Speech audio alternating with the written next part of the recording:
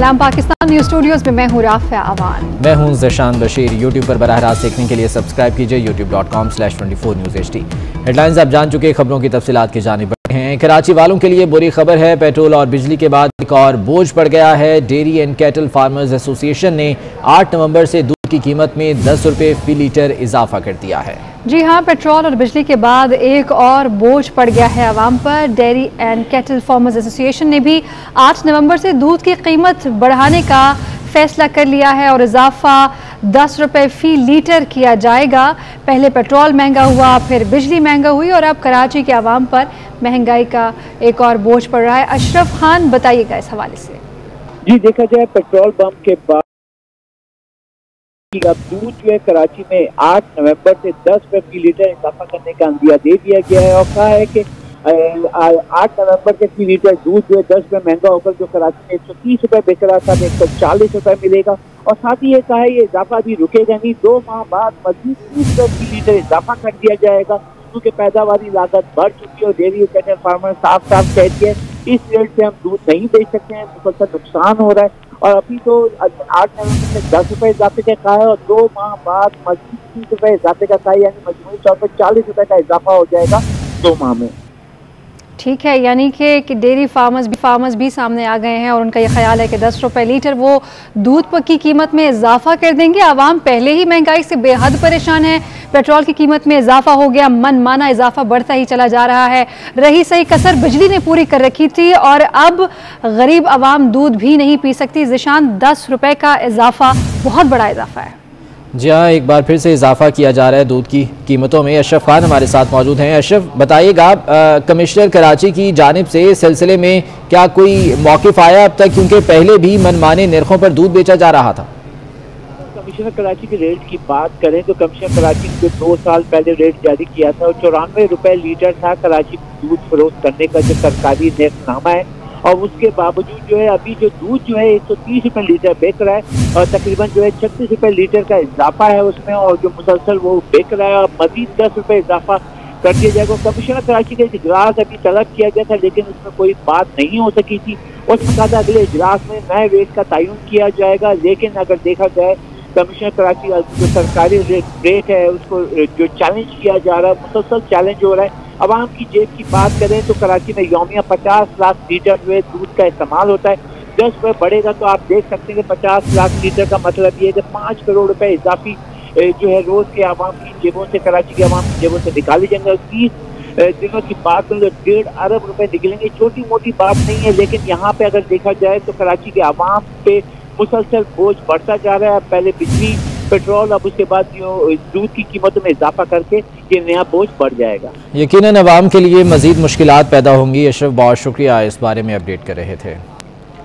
और तब्दीली सरकार का आवाम पर एक और बार पेट्रोल के बाद बिजली भी महँगी कर दी गई है। नेपरा ने बिजली के बुनियादी टैरिफ में एक रुपया अड़सठ पैसे इजाफे की मंजूरी दे दी है। बिजली की फ़ी यूनिट औसत कीमत पंद्रह रुपये छत्तीस पैसे हो गई है और इजाफे का इतलाक के इलेक्ट्रिक समेत तमाम तकसीम कार कंपनीज़ पर भी होगा।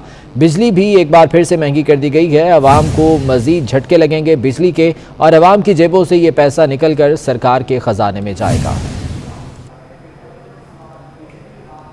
आगे बढ़ें और आपको बताएँ कि महँगाई का सुनामी हर शय को ले उड़ा।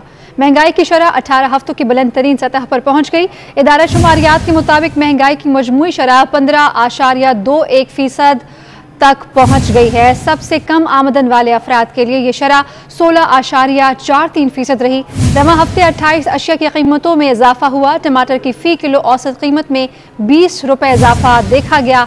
चीनी पाँच रुपये छप्पन पैसे, घी दस रुपये इक्कीस पैसे फ़ी किलो और आटे का बीस किलो का थैला चार रुपये इकहत्तर पैसे महँगा हुआ। एलपीजी की अगर बात की जाए और घरेलू सिलेंडर की कीमत में अठहत्तर रुपये का मनमाना इजाफा हुआ। अंडे तीन रुपये साठ पैसे फ़ी दर्जन हुए, जबकि एक हफ़्ते में आलू, मटन, लहसुन, गुड़, हर चीज़ महँगी हो गई। है महँगाई का सुनामी, तहरीक इंसाफ की हुकूमत के इतिहादियों पर भी भारी पड़ने लगा है। हुकूमत से लहदगी के लिए एम क्यू में प्रेशर ग्रुप कायम हो गया। 24 न्यूज़ रबता कमेटी इजलास की अंदरूनी कहानी सामने ले आया। और मौलाना फजल रहमान ने पी टी एम का हंगामी इजलास बुला लिया है। इजलास आज सुबह साढ़े तीन बजे जूम पर होगा, जिसमें महँगाई के खिलाफ जारहाना मुहिम पर मुशावरत की जाएगी। मौलाना फजल रहमान ने हंगामी इजलास तलब किया है। मुल्क में जारी महँगाई की इस लहर के खिलाफ बात की जाएगी और इस पर जारहाना मुहिम पर मुशावरत की जाएगी। पीडीएम के तमाम सरकर्दा रहनुमा इस मीटिंग में शिरकत करेंगे। साजिद बलोच हमारे साथ मौजूद हैं, उनसे मजीद जान लेते हैं। साजिद बताएगा कौन कौन से रहनुमा इस मीटिंग में शिरकत करेंगे और एजेंडा क्या होगा? जी, बिल्कुल पीडीएम के सरबरा मौलाना फजलमान ने आज जूम पे पीडीएम का हंगामी इजलास साढ़े तीन बजे लिया है मुल्क की तेज़ी से बिगड़ती सियासी सूरत हाल से मुशावरत की दावा। मौलाना फजलमान ने वीडियो लिंक पे इस इजलास में जो है मियाँ नवाज़ शरीफ शिरकत करेंगे। इसके अलावा अपोजिशन लीडर मियाँ शहबाज शरीफ, मरियम नवाज़, अवैस नूरानी, असलम घोरी महमूद अचरजई आफ्ताब शेरपऊ और दीगर शिरकत करेंगे। इजलास में पी डी एम कमर को महँगाई के खिलाफ जारहाना मुहिम शुरू करने के अलावा पार्लियामेंट के अंदर बहर मुजामती तहरीक बर्पा करने पर मुशावरत की जाएगी। जूम इजलास में पार्लियामेंट के मुश्तर इजलास में हुकूमत की तरफ़ से ओवरसीज पाकिस्तानियों को वोट देने समेत अठारह बिल मंजूर कराना चाहती है, जिसमें इलेक्ट्रॉनिक मशीन भी शामिल है, जिसे रोकने के लिए अपोजिशन जमातें मुश्तर और मुश्तर हमत अमली बनाएँगे जी ठीक है, साजिद बलोच, बहुत शुक्रिया तफसीत के लिए।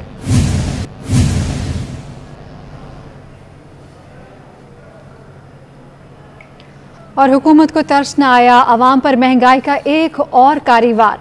पेट्रोल की कीमत में आठ रुपये तीन पैसे इजाफा कर दिया गया। विफाकी बजट पेश होने के बाद से अब तक नवी बार पेट्रोलियम मसनूआत महँगी हुई हैं। पंद्रह जून के बाद से अब तक पेट्रोलियम मसनूआत सैंतीस रुपये छब्बीस पैसे तक महँगी हुई। इस्लामाबाद से इस सब पर देखिए वकास अजीम की report.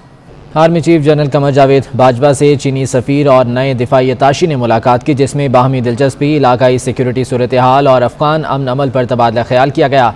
I S P R के मुताबिक मुलाकात में दो तरफा ताल्लुक को मजीद मुस्तकम करने से मुतालिक भी बातचीत की गई। इस मौके पर आर्मी चीफ का कहना था कि इलाका इसकाम के लिए पुरअमन और खुशहाल अफ़गानिस्तान नागजीर है। पुरअमन और मुस्तकम अफ़गानिस्तान के लिए तमाम मुस्बत काविशों को यकजा करना होगा। जनरल कमर जावेद बाजवा ने नए दिफाई ताशी को जिम्मेदारियाँ संभालने पर मुबारकबाद देते हुए सबका दिफाई ताशी की काविशों को सराहा।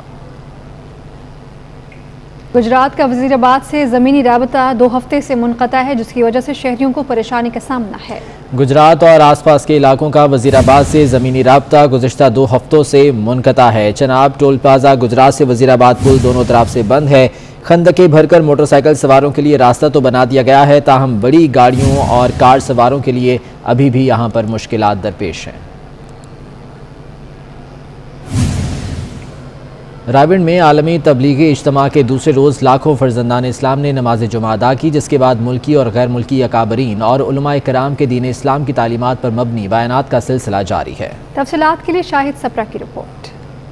रायविंड में आलमी तबलीगी इज्तम के दूसरे रोज का आगाज़ मौलाना अब्दुल रहमान के बयान से हुआ। जुमे की नमाज़ से पहले शहरी जोक, दर जोग इज्तम में शरीक हुए। नमाज़ जुमा इमाम मरकज रायविंड मौलाना माज की इमामत में अदा की गई। नमाज़ जुमा की अदायगी के बाद मौलाना इस्माइल, नमाज़ असर के बाद भारत से आए मौलाना जहीरुल हसन और मगरब के बाद मौलाना अहमद लाट का बयान हुआ।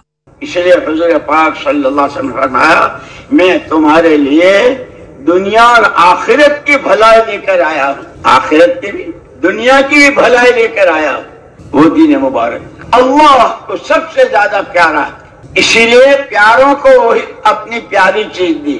और सब में ज़्यादा प्यारे प्यारे प्यारे हजर पाक सल्लल्लाहु अलैहि वसल्लम तो आपको वो दीन दीन कामिल दिया। सूबाई वज़ीर तजारत मियाँ असलम इकबाल सूबाई वज़ीर मादनियात हाफिज अम्मार यासिर और डेप्यूटी कमिश्नर उमर शेर चट्ठा समेत ने इंतज़ाम का जायजा लिया। असिस्टेंट कमिश्नर रायविंड अदनान रशीद के मुताबिक इज्तम के शुरा को हर मुमकिन सहूलत दी गई है। एल डब्ल्यू एम सी वासा एम सी एल इन सब की ड्यूटियाँ यहाँ पे लगी हुई हैं। पुलिस के दस्ते हैं यहाँ पे और सीसीटीवी कैमरे लगाए हुए हैं।